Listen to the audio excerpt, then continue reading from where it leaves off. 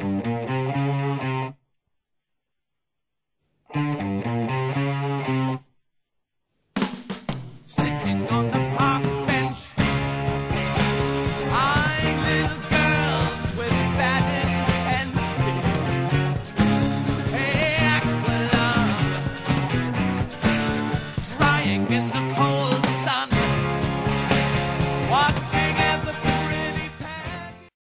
The world of video games has many recognizable icons Mario, Link, Sonic, Pac Man, just to name a few. They all made huge impacts on the gaming market and will forever be etched in the annals of time as legends. Mega Man may not fall into the same category as those previously mentioned, but it's pretty safe to say that he will be considered an upper echelon franchise. It all started in 1987 when Capcom released the original Mega Man for the NES, also known as Rockman in Japan. The Japanese version used a different cover art, which the US changed feeling that the anime look would turn off the American audience. So we ended up with this. Mega Man looks like he's in his 50s. He's carrying a gun instead of having the built in cannon he has in the game. His colors are all wrong, and I don't know what the background is supposed to resemble. Anyway, onto the plot.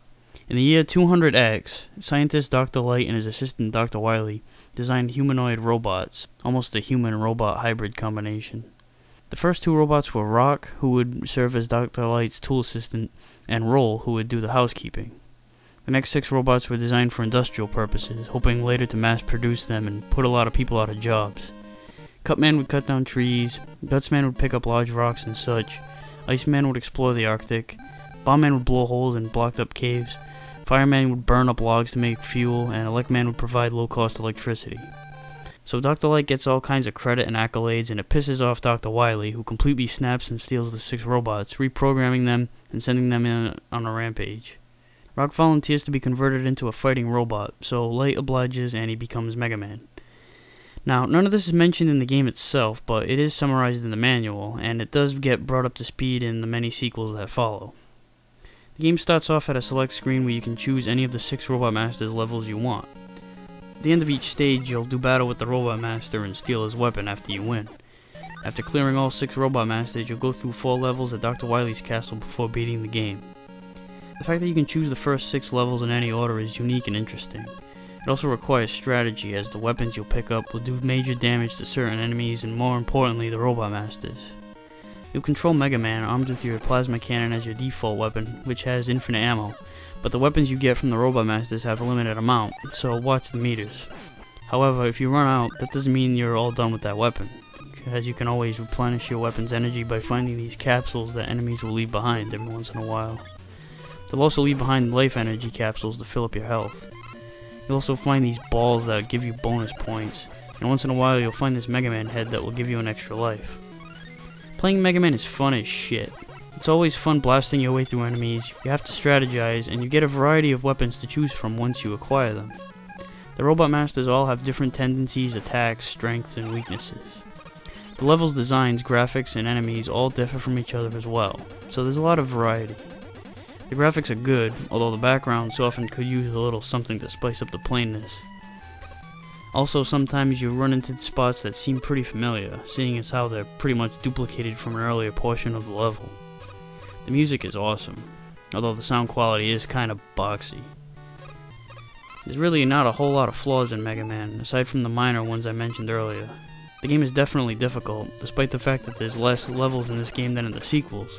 Mainly the tweaks and additions in the sequels would give you an edge. Like for example, if you get hit by an enemy and land in a pit of spikes, you die as soon as you hit it.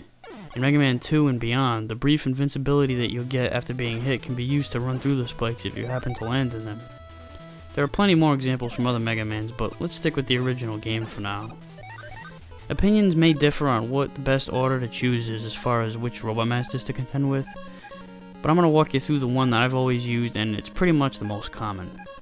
First select Bomb Man. The clear points for beating Bomb Man may not be 70,000 points, it's never consistent, and it never matters because points mean jack shit in this game. Toward the beginning, stand up against these walls to let the debris from the bombs just sail right over you before you move on. Don't let these assholes knock you off the ladder and down onto the next screen, because cause even if you kill any of them, they'll respawn as soon as you climb back up.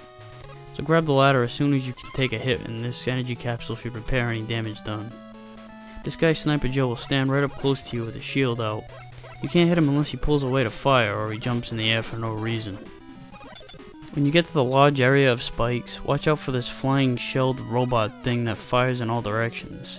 You can only kill it when it opens up to shoot, so time your shot right for when it opens and run. If you get hit, you could fall into the spikes and get wiped out.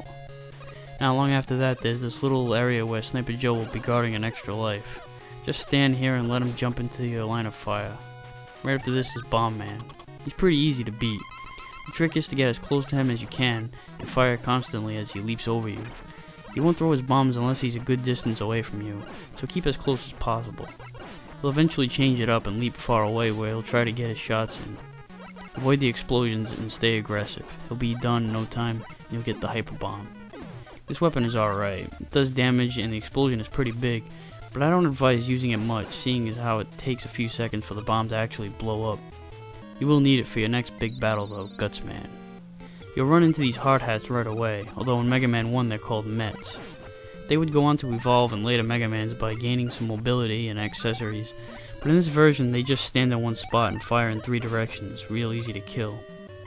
Then you get to this part with these platforms that slide across a wire or something. Jump on the platforms, but remember that when the connecting piece of the platform slides across the rip in the wire, the platform will drop. So time your jumps right, especially on the bottom platform where you'll run into a series of these jumps.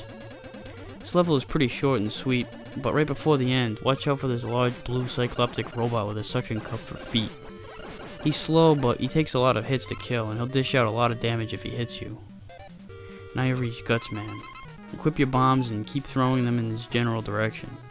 You can only throw one at a time, so you'll have to wait until the one you're using explodes. While you're waiting, Gutsman's gonna be jumping around like a fucking maniac. Whenever he lands, he'll cause an earthquake and you'll lose your footing, unless you jump just before he lands. He'll attack by catching a giant block of rock that falls from the ceiling and hurling it at you. If you're on your ass, he'll probably connect with the rocks. Also, he'll jump from side to side too, so he may veer away from the bombs. So try to throw it in his general area as opposed to hitting his location exactly, since the explosions cover a lot of ground. After defeating Gutsman, you'll acquire the Power Arm. This weapon can only be used in specific situations. If you see a large block that looks something like this, you can pick it up and throw it. Otherwise, you can't do shit with this weapon, but it'll be very instrumental in getting a key item later on in the game. You can also use it at the very beginning of the next level, Cutman stage. Early on, you climb up these ladders, making your way through several screens fending off these annoying assholes that fire and hide in their shells. Now, they can't shoot backwards, so if you ever get a chance to stand behind them, do so. They fire semi-rapidly, and when and with a few on the screen at once, you're probably going to take a few hits. Soon after, you'll go up a few more screens in similar fashion with these red suction cup fucks that move horizontally or vertically from wall to wall, or ceiling to floor. All you really have to do is watch their patterns and shoot whenever they're away from you. Then this asshole makes another appearance. Try to maneuver yourself in between his line of fire, more importantly, stay away from the spikes. One hit could send you off and you're dead as Dillinger. But the bullets themselves don't do too much damage, so don't worry yourself sick over it. Instead, worry yourself sick over this. Ugh, I really hate this motherfucker. The power arm can do enough damage to take him out in two shots if you're quick enough. Otherwise, try to wait for his high jump and run under him. Now you'll get the Cutman. He's aggressive and will charge at you before chucking the rolling cutter blade that he wears so proudly on his head. So equip the power arm and pick up the blocks on the left right away and chuck them at him. If you connect with both shots, he'll die. If you miss with one or both shots, use the arm cannon the rest of the way, which does pretty good damage and pushes him back a few steps. When he throws the cutter at you, just keep firing and don't take your eyes off the cutter because Cutman won't move, but the rolling cutter will boomerang back, and it does some pretty moderate damage if you get hit. Once you take care of him, you'll get the rolling cutter, which has its share of uses, but it's pretty slow and the angle is kinda awkward. It does boomerang its way back, much like it did for Cutman, so you have more than one chance sometimes to hit your target.